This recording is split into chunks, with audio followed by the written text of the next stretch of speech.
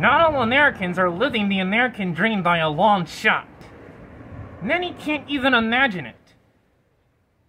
There are impoverished Americans, the poor and the homeless, the hungry and the hopeless, many unable to read and write. There are Americans gone astray, the kids dragged down by drugs, the shattered families, the teenage mothers struggling to cope. Then there are Americans uneasy, troubled, and bewildered by the dizzying pace of change. What can we do to help these Americans?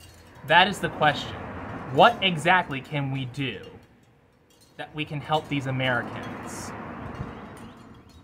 Ask yourself that question. What can we do to help these impoverished Americans?